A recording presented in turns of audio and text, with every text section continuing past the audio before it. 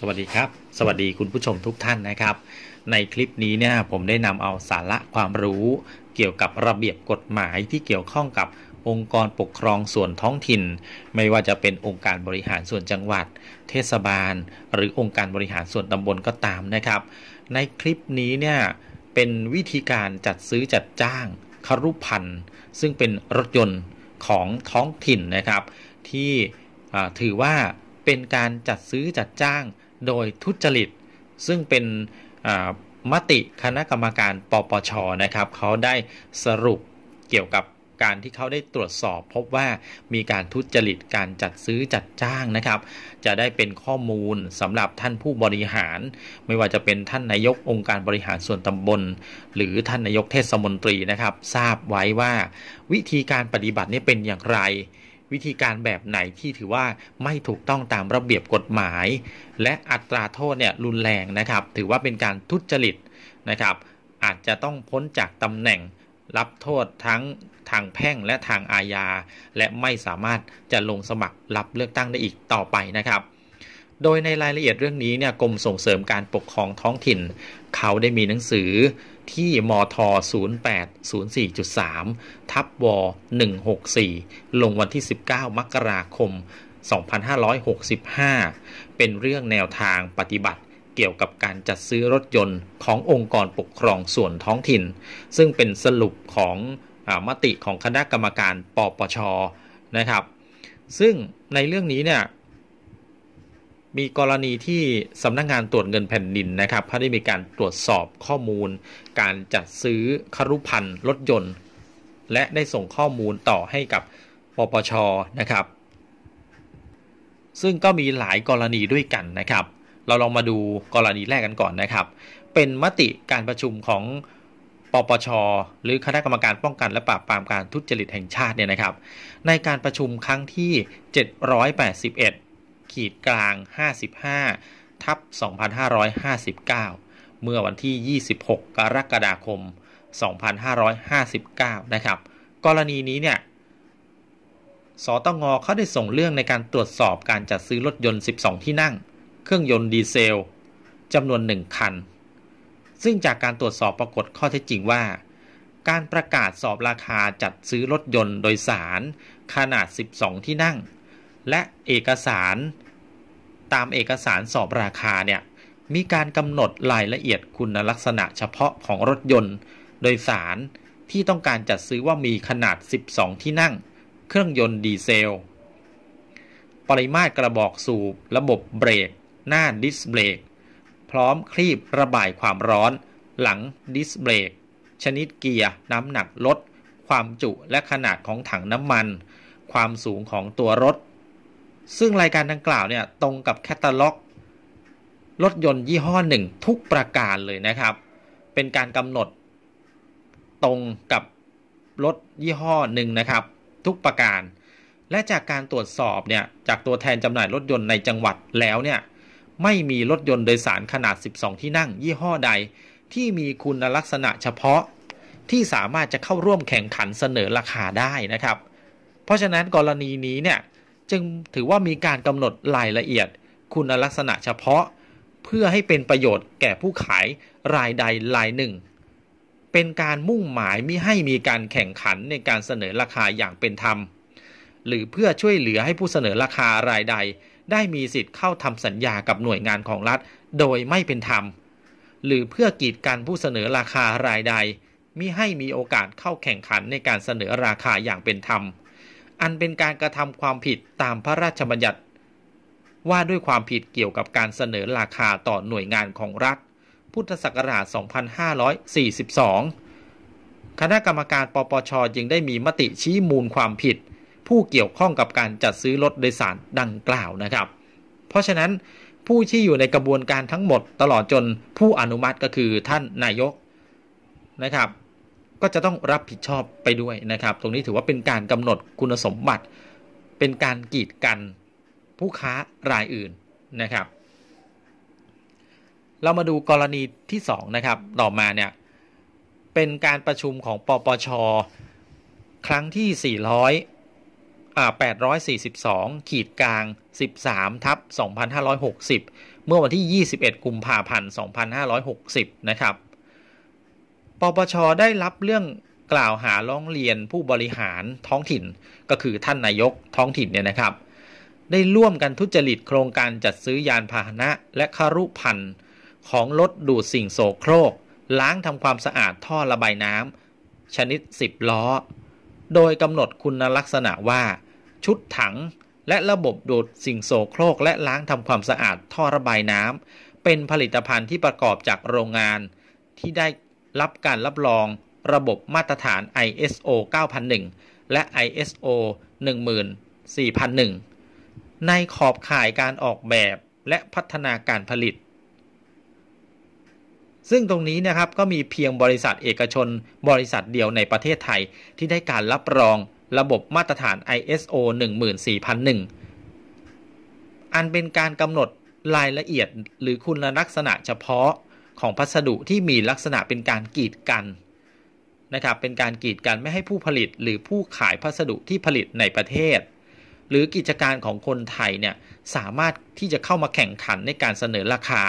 กับหน่วยบริหารราชการท้องถิ่นทำให้ไม่เกิดการแข่งขันอย่างเป็นธรรมนะครับ เป็นการฝ่าฝืนระเบียบกระทรวงมหาดไทยว่าด้วยการพัสดุ พุทธศักราช 2535 พระราชบัญญัติว่าด้วยความรับผิดเกี่ยวกับการเสนอราคาต่อหน่วยงานของรัฐ พุทธศักราช 2552 การที่ผู้บริหารท้องถิ่นคือท่านนายก ซึ่งมีอำนาจหน้าที่ตามกฎหมายนะครับ ในการที่จะกำหนดนโยบายและรับผิดชอบในการบริหารราชการของเทศบาลเนี่ยให้เป็นไปตามกฎหมาย ระเบียบ ข้อบังคับ การสั่ง อนุญาต อนุมัติ เกี่ยวกับราชการของท้องถิ่น เป็นผู้ออกคำสั่งแต่งตั้งคณะกรรมการกำหนดคุณลักษณะและราคากลาง และมีอำนาจหน้าที่อนุมัติโครงการ และให้ความเห็นชอบกำหนดคุณลักษณะเฉพาะ และราคากลางตามที่คณะกรรมการกำหนดคุณลักษณะเฉพาะ และราคากลางเสนอ ซึ่งมีหน้าที่ในการควบคุมตรวจสอบการดำเนินการของผู้ใต้บังคับบัญชาเนี่ยให้กระทำการโดยถูกต้อง แต่ว่ากลับละเลยไม่ตรวจสอบความเป็นมาของการกำหนดคุณลักษณะ และราคากลางเนี่ยให้ถูกต้อง โดยเห็นชอบให้มีการกำหนดคุณลักษณะ เฉพาะและราคากลางเนี่ยเป็นการกีดกันม่ให้ผู้เข้าประกวดราคารายอื่นเข้าร่วมประมูลงานได้ทำให้ไม่มีการแข่งขันราคาอย่างเป็นธรรม เป็นการไม่ปฏิบัติตามกฎหมาย ระเบียบที่กำหนด และปฏิบัติหน้าที่โดยทุจริตนะครับ ปปชสรุปว่าเป็นการปฏิบัติหน้าที่โดยทุจริตทำให้ราชการได้รับความเสียหาย จึงเป็นการปฏิบัติฝ่าฝืนต่อความสงบเรียบร้อย หรือสวัสดิภาพของประชาชน ละเลยไม่ปฏิบัติตาม หรือปฏิบัติการไม่ชอบด้วยอำนาจหน้าที่ หรือมีความประพฤติในทางที่จะนำมาซึ่งความเสื่อมเสียแก่ศักดิ์ศรีเสื่อมเสียแก่ศักดิ์ตำแหน่ง หรือแก่เทศบาล หรือแก่ราชการ ตามมาตรา 73 แห่งพระราชบัญญัติเทศบาล พุทธศักราช 2496 แก้ไขเพิ่มเติมถึงฉบับที่ 13 พุทธศักราช 2552 ตรงนี้ปปช มีความเห็นว่านายกผู้บริหารท้องถิ่นเนี่ยปล่อยปะละเลยนะครับ และความผิดร้ายแรงเลยนะครับ ถือว่าเป็นการกระทำโดยทุจริตนะครับ ให้ราชการเนี่ยได้รับความเสียหายอย่างร้ายแรง ถ้าโทษทุจริตนะครับ ก็มีสิทธิ์ถึงกับพ้นตำแหน่งนะครับ และไม่สามารถจะลงสมัครรับเลือกตั้งได้อีกต่อไปนะครับ ต่อมานะครับ กรณีที่ 3 เนี่ยสำนักงานตรวจเงินแผ่นดินจังหวัดลบบุรีได้ตรวจสอบการจัดซื้อรถยนต์ส่วนกลางอนเนกประสงค์ ของท้องถิ่นตามดีกาเบิกเงินนอกงบประมาณรายจ่าย พบว่า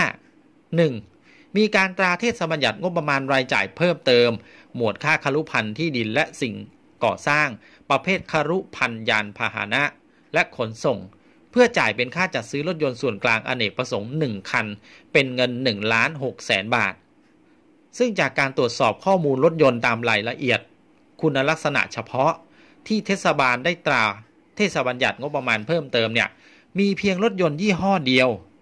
ที่มีคุณสมบัติตามรายละเอียดคุณลักษณะเฉพาะที่ท้องถิ่นกำหนด ราะฉะนั้นจึงถือว่ามีลักษณะเป็นการกำหนดรายละเอียดคุณลักษณะเฉพาะรถยนต์ส่วนกลางอเนกประสงค์ ขนาด 12 ที่นั่ง เครื่องยนต์ดีเซลดังกล่าวเนี่ยมีลักษณะเป็นการเอื้อประโยชน์ ให้กับผู้มีอาชีพขายรถยนต์ยี่ห้อนี้เพียงรายเดียวนะครับ 2. เนี่ยคณะกรรมการกำหนดราคากลาง ได้ทำการกำหนดราคากลางโดยสืบราคาจากผู้จำหน่าย รถยนต์ยี่ห้อนี้เพียงยี่ห้อเดียว ซึ่งการปฏิบัติหน้าที่ดังกล่าวเนี่ย คณะกรรมการกำหนดราคากลางย่อมรู้ หรือควรรู้ได้ว่า เมื่อมีการสอบราคา ย่อมมีผู้เข้าร่วมแข่งขันกันในการเสนอราคาเพียงรายเดียวนะครับ เพราะไปกำหนดแบบนั้นเนี่ยก็จะมีคุณสมบัติเพียงรายเดียวนะครับ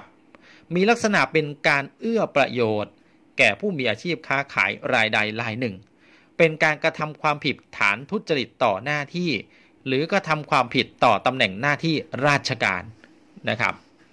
คณะกรรมการปปชพิจารณาแล้วเนี่ยกรณีดังกล่าวเป็นการกระทำโดยมุ่งหมาย มิให้มีการแข่งขันราคาอย่างเป็นธรรม เพื่อเอื้อประโยชน์ เอื้ออำนวยแก่ผู้เข้าทำการเสนอราคารายใด ให้เป็นผู้มีสิทธิ์ทำสัญญากับหน่วยงานของรัฐ ตามพระราชบัญญัติว่าด้วยความผิดเกี่ยวกับการเสนอราคาต่อหน่วยงานของรัฐ พุทธศักราช 2542 มาตรา 12 และมีข้อมูลเป็นการกระทำฝ่าฝืนต่อความสงบเรียบร้อย หรือสวัสดิภาพของประชาชน ละเลยไม่ปฏิบัติตามหรือปฏิบัติการไม่ชอบด้วยอำนาจหน้าที่ หรือมีความประพฤติในทางที่จะนำมาซึ่งความเสื่อมเสียแก่ศักดิ์ตำแหน่ง แก่เทศบาล หรือแก่ราชการ ตรงนี้ก็มีความผิดถึงกับพ้นจากตำแหน่งได้นะครับ กรณีสุดท้ายนะครับ ปปช ในการประชุมครั้งที่ 104ทับ2564 เมื่อวันที่ 14 กรกฎาคม พุทธศักราช 2564 นี้นะครับ ที่ผ่านมานี้เองนะครับ ปปช ได้รับเรื่องกล่าวหาผู้บริหารท้องถิ่น ก็คือท่านนายกนะครับ ว่ากำหนดคุณลักษณะคลุพันธ์ในการสอบราคาซื้อคลุพันธ์ยานพาหนะรถบรรทุกขนาด 6 ตัน 6 ล้อ แบบอัดท้าย โดยมุ่งหมายมิให้มีการเสนอราคาอย่างเป็นธรรม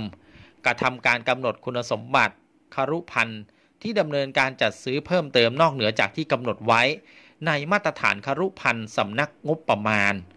เพื่อเอื้อประโยชน์ให้กับบริษัทเอกชนรายหนึ่ง ให้เป็นคู่สัญญากับองค์กรปกครองส่วนท้องถิ่นปปชได้พิจารณาแล้วเห็นว่าได้มีการกระทำในฐานที่เป็นเจ้าหน้าที่ในหน่วยงานของรัฐ หรือผู้ได้รับมอบหมายจากหน่วยงานของรัฐ โดยทุจริตทำการออกแบบกำหนดราคากำหนดเงื่อนไข หรือกำหนดผลประโยชน์ตอบแทน อันเป็นมาตรฐานในการเสนอราคา โดยมุ่งหมายมิให้มีการแข่งขันในการเสนอราคาอย่างเป็นธรรม หรือเพื่อช่วยเหลือให้ผู้เสนอราคารายใดได้มีสิทธิ์เข้าทำสัญญากับหน่วยงานของรัฐโดยไม่เป็นธรรม หรือเพื่อกีดกันผู้เสนอราคารายใดมิให้มีโอกาสเข้าแข่งขัน ในการเสนอราคาอย่างเป็นธรรม และฐานเป็นเจ้าหน้าที่ในหน่วยงานของรัฐ กระทำความผิดตามพระราชบัญญัตินี้ หรือกระทำการใด ๆ โดยมุ่งหมายมิให้มีการแข่งขันราคาอย่างเป็นธรรม เพื่อเอื้อประโยชน์แก่ผู้เข้ารับทำการเสนอราคารายใด ให้เป็นผู้มีสิทธิ์ทำสัญญากับหน่วยงานของรัฐ ตามพระราชบัญญัติว่าด้วยความผิดเกี่ยวกับการเสนอราคาต่อหน่วยงานของรัฐ พุทธศักราช 2542 ตามมาตรา 11 และ 12 และปฏิบัติการฝ่าฝืนต่อความสงบเรียบร้อย หรือสวัสดิภาพของประชาชน ละเลยไม่ปฏิบัติตาม หรือปฏิบัติการไม่ชอบด้วยอำนาจหน้าที่ หรือมีความประพฤติ ในทางที่จะนำมาซึ่งความเสื่อมเสียแก่ศักดิ์ตำแหน่ง หรือแก่เทศบาล หรือแก่ราชการนะครับ นี่เป็นกรณีศึกษาต่างๆนะครับ เกี่ยวกับ กับการจัดซื้อคารุพันธ์รถยนต์ขององค์กรปกครองส่วนท้องถิ่นที่ถือว่าเป็นการกระทำความผิดกฎหมายนะครับ และอัตราโทษร้ายแรงนะครับ เสียหายแก่ราชการ